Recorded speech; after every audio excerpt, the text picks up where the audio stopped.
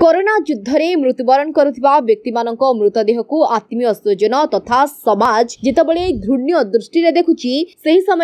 स्वेच्छासेवी संगठन निजर उदारतारूपक मृतदेहगुडीको संस्कार आग्रह प्रकाश गरिमे जगतसिंहपुर विकास मिशन नामक एक स्वेच्छासेवी संगठनर सदस्य भने जोट सात जन कोरोना जनता मृतकको मध्य छ